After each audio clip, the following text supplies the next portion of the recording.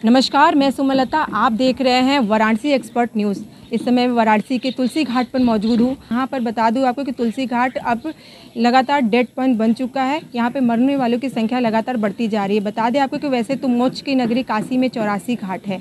चौरासी घाटों से आए दिन आप खबर सुनते होंगे कि किसी घाट पर कुछ लोग डूब गए हैं, किसी घाट पर कुछ लोग डूब गए हैं, लेकिन वाराणसी का ये जो तुलसी घाट है, यहाँ पर डूबने वालों की संख्या लगातार बढ़ती जा रही है।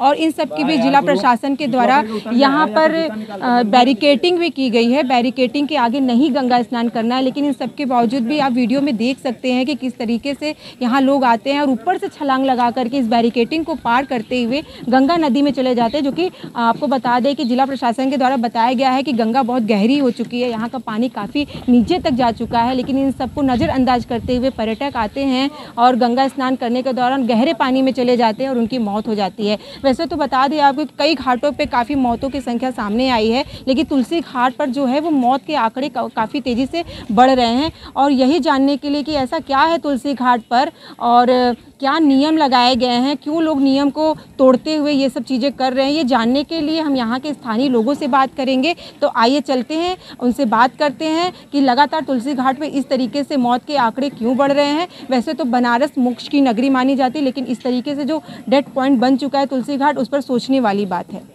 इस वक्त तुलसी घाट पर कुछ लोग हैं उनसे हम बात करेंगे कि किस तरीके से यहाँ मौत के आंकड़े बढ़ रहे गंगा स्नान के दौरान। आपका नाम भैया? सत्यम शुक्ला। सत्यम जी कहाँ के रहने वाले हैं? मिर्जापुर।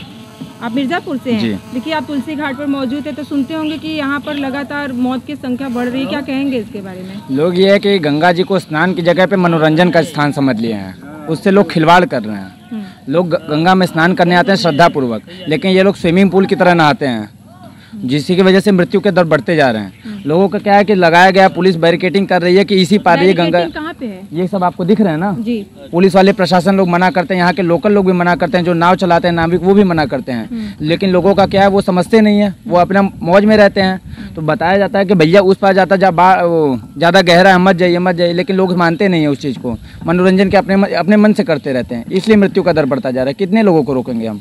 लेकिन पुलिस प्रशासन के द्वारा यहाँ तो सुरक्षा व्यवस्था जैसे कि और भी पुलिस लोग को लगाया गया होगा है यहाँ पे पुलिस प्रशासन हाँ प्रशासन हमेशा टाइट रहती है। तो क्या मना नहीं करती? प्रशासन मना करती है लेकिन कितनों को मना करेगी? लोग अपना दिखाने लग जाते हैं कि धौस देते धौस देने लगते हैं कि हम ये हैं वो हैं हम तैरना जानते हैं उसी चक्कर में होता है ये सब। शासन खुद बेचारी परेशान हो जाती है प्रशासन खुद परेशान हो जाती है लोगों से जनता के कितने प्रशासन का क्या है कि 10 से 12 प्रशासन है पुलिस वाले रहते हैं यहाँ पे एनडीआरएफ वाले कितने लोगों को मना करेंगे?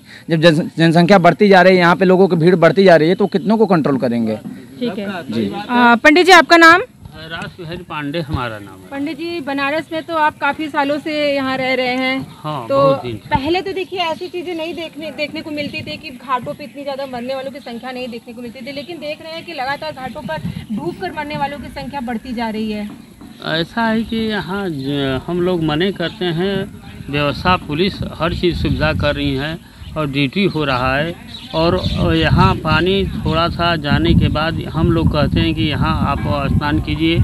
उन लोग नहीं मानते हैं आगे बढ़ जाते हैं। कुछ गंगा का ऐसे धार है लोग चले जाते हैं। इसलिए क्यों इस तरीके से हो गया है कि हमें सुनने में आया कि गंगा नदी का जो धरातल का जो स्तर काफ़ी ज़्यादा गहरा होता जा रहा है? ऐसा क्या बात है? नहीं कुछ ऐसा अनुमान लगता है कि जो जल है ये लगा हुआ है इसके बाद में उभर जाने पर रेती है। और इधर ये स्रोत बन गया है। और इसके बाद में उसी में स्रोत के सहारे गड्ढे पानी में निकल जाते हैं। पुलिस प्रशासन के द्वारा क्या व्यवस्था की गई है यहाँ पे? यहाँ से बहुत अच्छी तरह से प्रशासन चल रही है और ड्यूटी भी लोग प्रतिदिन करते हैं। इसमें कोई संदेह नहीं है। मतलब ले दे करके मनमानी करने की वजह से ये सब चीज़ें, ऐसी चीज़ें सामने आ रही हैं, घटनाएँ जो हैं। घटना लोग घटना ऐसा है कि लोग नहीं मानते हैं। हम लोग मने करते हैं कि थोड़ा पानी में ही स्नान कर कर आप घर जाएँ। लोग नहीं मानते हैं, ज़्यादा गहरा थोड़ा सा जल है और आगे जाने पर रेती पड़ी हुई है। लोग, ज़्यादा स्नान करने के लिए दूरी जाते हैं, लोग इसी से डूब जाते हैं। आपको लगता है कि इन सब के अलावा पुलिस प्रशासन को और भी कड़ी व्यवस्था करनी चाहिए? पुलिस की व्यवस्था माने मजबूर हो जाए उनकी बात नहीं नहीं। मजबूरी तो प्रशासन मने कर रही है। हर तरह से व्यवस्था मोदी ने सरकार द्वारा हर सफ़ाई और पुलिस की व्यवस्था हर चीज़ हो चुकी है। लोग नहीं मानते हैं तो पुलिस क्या करे? पुलिस तो प्रतिदिन वो ड्यूटी कर रहे हैं। इसमें कोई संदेह नहीं। मोक्ष की नगरी काशी में इन चौरासी घाटों से जितने भी मामले सामने आए हैं, कितने लोग डूब गए हैं, तुलसी घाट पे से जो मामले सामने आए, कितने लोग डूब गए हैं तो इन सब चीज़ों को लेकर के हमने स्थानीय लोगों से बात की। उन्होंने बताया है कि प्रशासन के द्वारा तो व्यवस्था अच्छी की गई है, लेकिन वो लोग अपने मनमाने की वजह से मानते नहीं हैं, जो गंगा स्नान के लिए यहाँ आते हैं।